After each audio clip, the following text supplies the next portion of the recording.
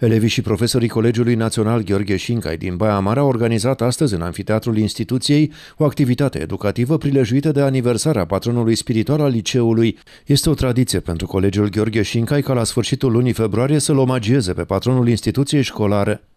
Pe 28 februarie se împlinesc uh, anul acesta 262 de ani de la nașterea lui Gheorghe Șincai, și anul acesta uh, este și un an în care vom comemora 200 de ani de la trecerea lui în neființă.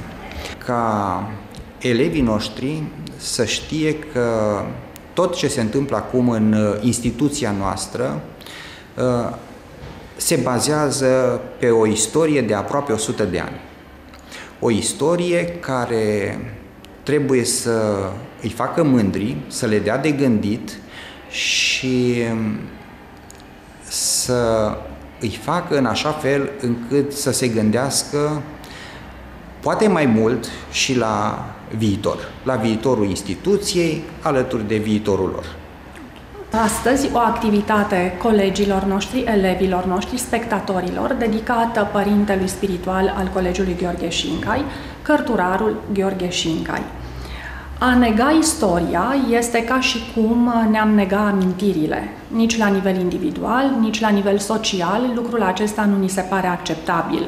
Încercăm să insuflăm elevilor noștri dragostea față de țară în contextul globalizării. Ei trebuie să știe că a fi cetățeni români și a fi cetățeni europeni este un act de normalitate și de demnitate.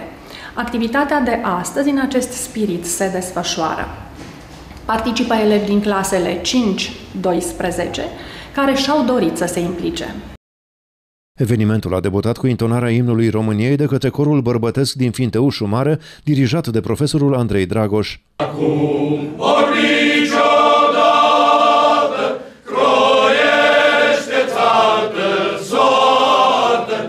Directorul Colegiului Național Gheorghe Șinca a vorbit în cadrul evenimentului despre misiunea profesorilor care au îndrumat generații de elevi.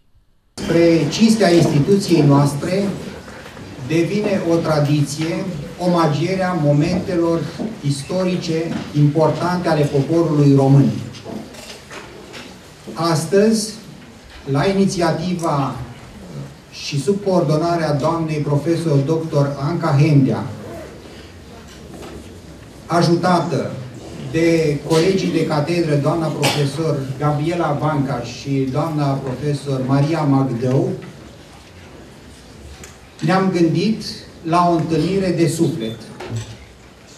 La o întâlnire de suflet între invitații care au fost de acord ca o parte din timpul dânșilor să-l petreacă alături de noi,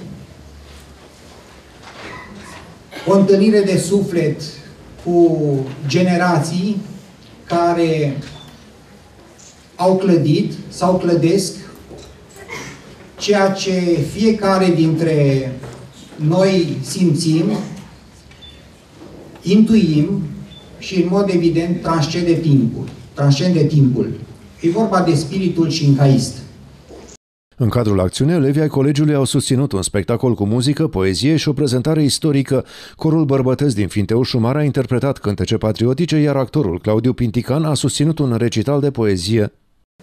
Dar fiindcă auzeau mereu lătrând la stâna lor câinii, plecau să se bată cu tătarii și cu avarii și cu hunii și cu alte seminții care au cerut pământ și apă. Eu tot